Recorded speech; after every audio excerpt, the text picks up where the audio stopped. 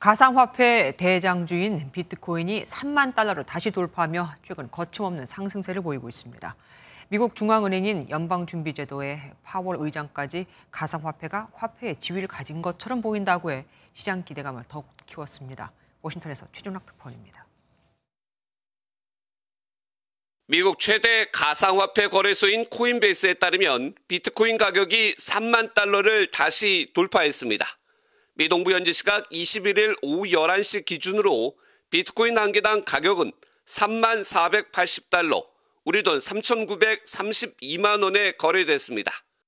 실리콘밸리 은행 파산 여파로 기존 화폐 대안으로 부각되며 지난 4월 3만 1,000달러까지 급등한 이후 두 달여 만에 다시 3만 달러를 돌파한 겁니다. 세계 최대 자산운용사 블랙록에 이어 다른 대형 자산운용사들도 비트코인 상장지수 펀드 신청에 나서면서 상승에 불을 지폈습니다. 특히 제롬 파월 미 연방준비제도 의장도 미 하원 금융위원회에 출석해 가상화폐가 화폐로서의 지위를 가진 것처럼 보인다고 말하면서 상승 기대감은 더욱 커졌습니다. We do see payment stablecoins as a form of money. 다만 모든 선진국에서 화폐에 대한 신뢰의 원천은 중앙은행이라며 연방정부가 강력한 역할을 하는 규제의 필요성을 강조했습니다.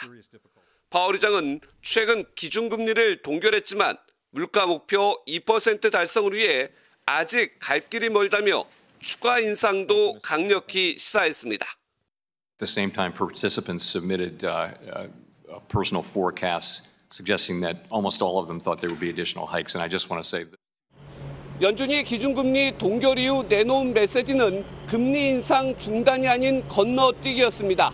올해 두 차례 이상 추가 금리 인상 가능성이 큰 것으로 풀이됩니다. 워싱턴에서 MBN 뉴스 최종락입니다.